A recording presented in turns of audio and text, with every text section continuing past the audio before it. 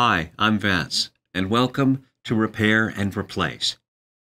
If your refrigerator is too warm and isn't cooling properly, then it could be an issue with one of the fans. Before anything else, there are a few things that you should check. First, turn the control to the coldest setting. Unplug the refrigerator and wait several minutes. Then plug it back in. If the compressor doesn't start, but the fans are running, then it could be an issue with the compressor starter. You can learn more in the troubleshooting video linked below. Now if the compressor starts and you can hear the fan running, then it's likely an issue with the heat exchange in either the evaporator or condenser coils. In this episode, first we'll learn how it all works then we'll do some cleaning. Finally, we'll access and test the condenser and evaporator fans. This applies to most top freezer, bottom freezer, and side-by-side -side refrigerators.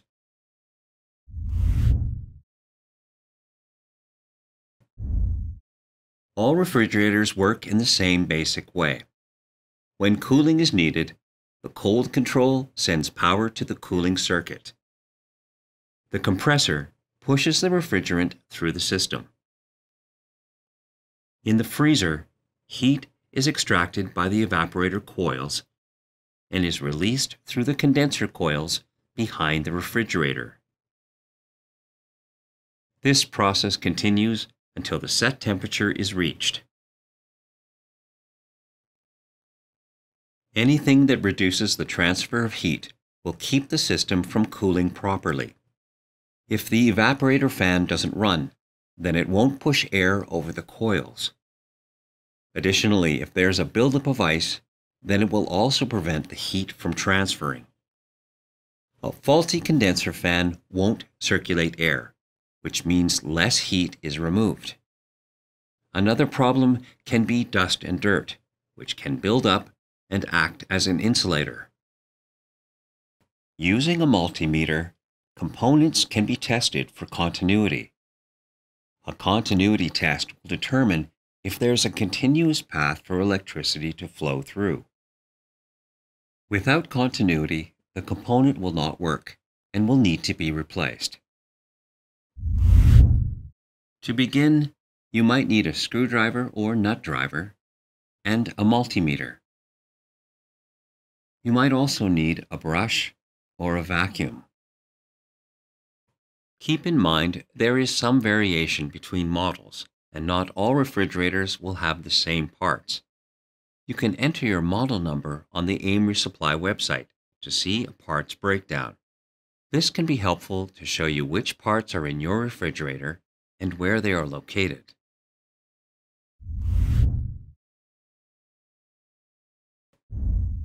First, slide the refrigerator out from the wall. When there is enough room, unplug the cord to disconnect the power.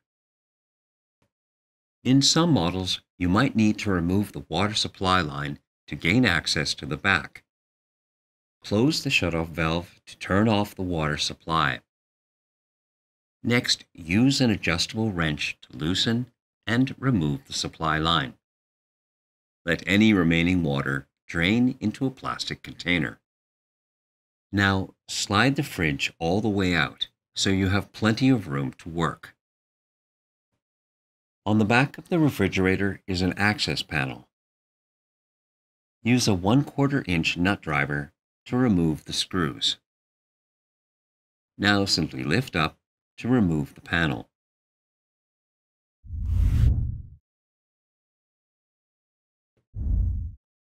To ensure proper airflow, it's best to clean the fan and condenser coils.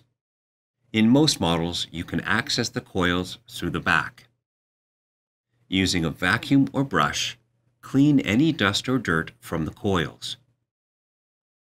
In some cases, the coils are located under the fridge, so you might need to remove the kick plate.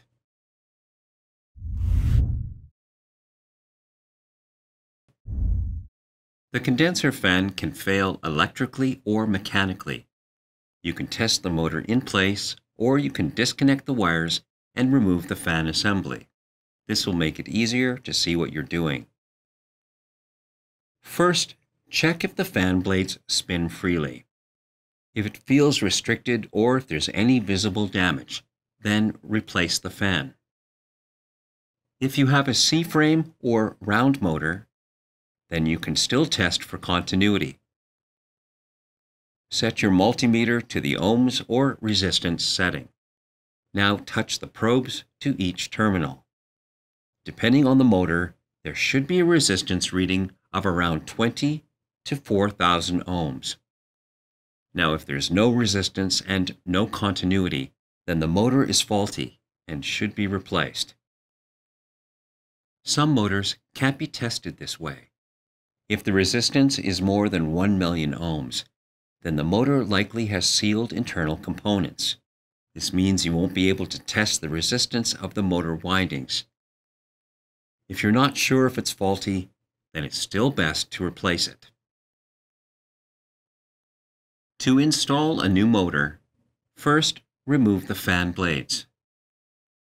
Now unscrew the motor and remove it. Align the new motor and screw it into place. Now reattach the fan blades. Align the assembly onto the mount. Now tighten the screws. Finally, reconnect the wires.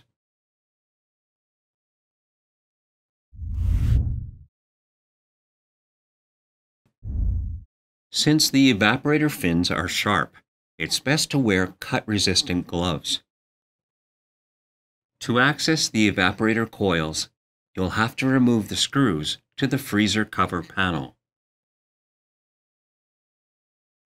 Lift up the mounting tabs and remove the panel.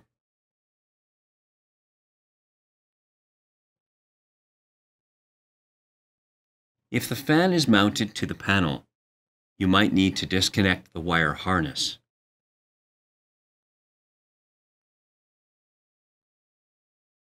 In a side-by-side -side fridge, the fan will likely be mounted above the evaporator coils. To isolate the fan, disconnect the wires and remove it. If your model has a bottom freezer, then you'll have to remove the door to access the freezer components. You can see how to do this in the video linked below.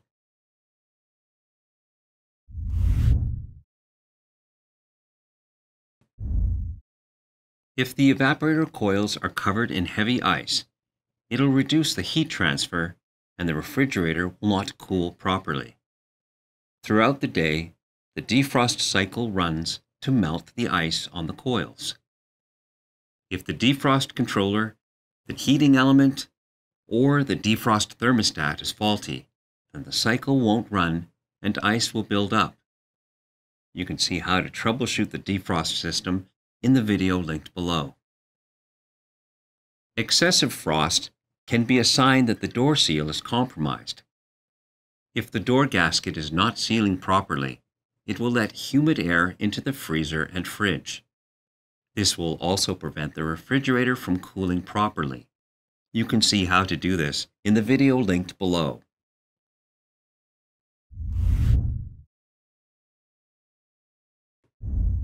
If the evaporator fan is not running, then it won't circulate air over the coils. First, check if the fan blades spin freely. If it feels restricted or if there's any visible damage, then replace the fan. If you have a C-frame or round motor, then you can still test for continuity. Set your multimeter to the ohms or resistance setting. Now touch the probes to each terminal. Depending on the motor, there should be a resistance reading of around 20 to 4,000 ohms. Now, if there's no resistance and no continuity, then the motor is faulty and should be replaced. Some motors can't be tested this way. If the resistance is more than 1 million ohms, then the motor likely has sealed internal components. This means you won't be able to test the resistance of the motor windings. If you're not sure if it's faulty, then it's still best to replace it. To install a new motor, you'll have to remove it from the mounting bracket. You can see this in more detail in the video linked below.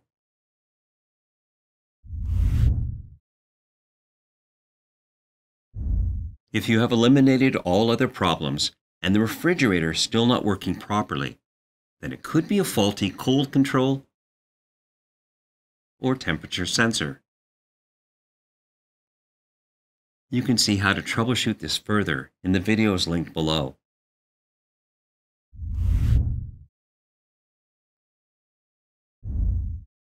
If needed, align the freezer panel and tighten the screws. Align the back panel onto the mounting tabs. Now tighten the screws. Reconnect the water supply and tighten the connection. Open the shutoff valve. Plug in the cord to reconnect the power. Now slide it back into place. Make sure to leave a couple of inches of space between the refrigerator and the wall. This will allow for proper airflow. Now test the refrigerator to see if it's working properly. If you like this and want to see more tutorials and informational videos, then subscribe to our channel. And if you need help, you can call or visit an AMRE location to talk with our knowledgeable staff. Thanks for watching.